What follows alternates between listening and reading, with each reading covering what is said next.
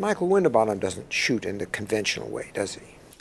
Not at all. I mean, not the convention that I know. Uh, and in fact, for me, it's, it's probably the most exciting process I've ever been involved with because there's nobody there except him and the actors.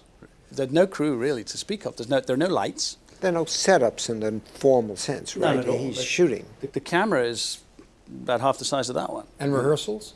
No rehearsals. Well, what you have is a kind of period where you get to know each other, and, and you know, I, when I met the, the Willa and Perla, who play my daughters, um, we were given a small budget and told to go buy food and cook lunch in Italy, and uh, if you know that that can feel a little contrived and awkward at first, but we you, that was a, we got to know each other pretty quickly as a result of it because we were forced to.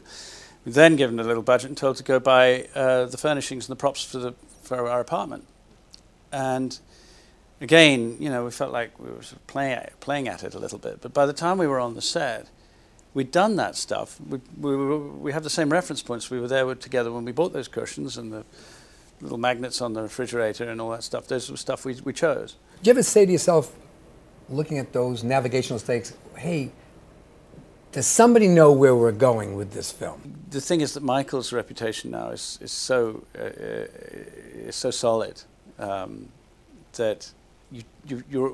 I mean, he's the pull into doing the film in the first place. I mean, he's he's what you need uh, in, in terms of a of a compass. Or uh, I'd, I'd rather have Michael there than a script I understood.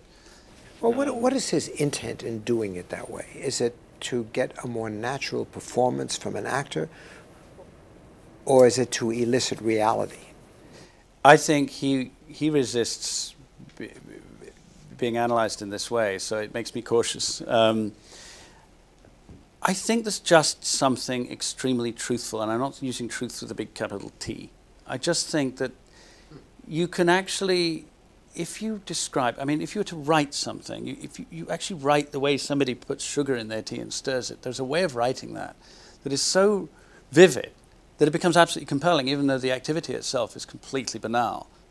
I find it truthful. I find it truthful when I watch a film like Genova, every time it goes somewhere where I think, "Ah, here we go, there's a resolution at the end of this strand. There isn't really. It's not a willful pulling the rug from under you. And it's not a, a kind of messing with your expectations. I feel it just eludes resolution the way life does.